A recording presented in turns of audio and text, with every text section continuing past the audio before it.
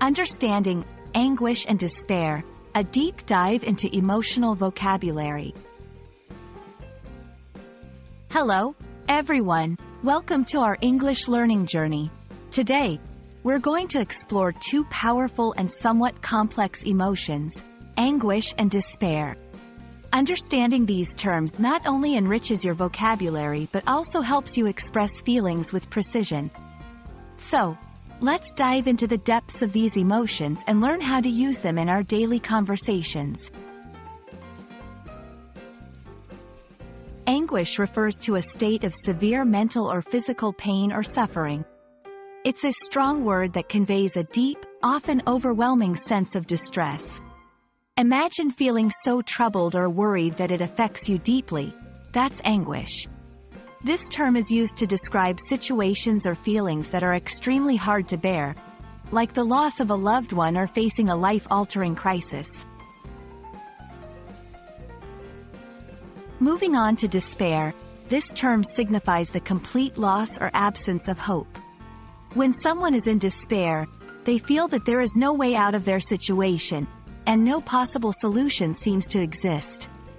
It's a level of sadness that feels bottomless, often leading to a sense of resignation or giving up. Despair might follow a tragic event, a significant disappointment, or a perceived failure that seems insurmountable.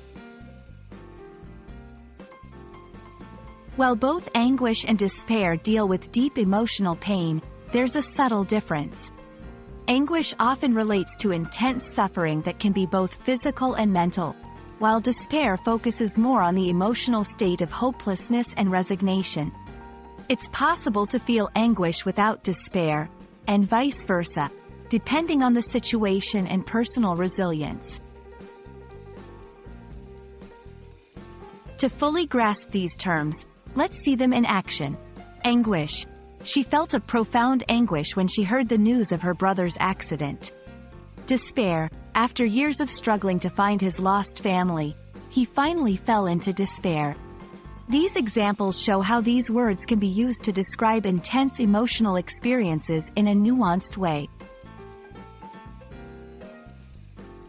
Thank you for joining me in exploring the meanings and uses of anguish and despair. Remember, Learning to articulate our emotions with such specific terms can deeply enrich our communication and help us understand ourselves and others better. I hope this video has shed light on these complex emotions and added new layers to your English vocabulary. Stay curious, and see you in our next video.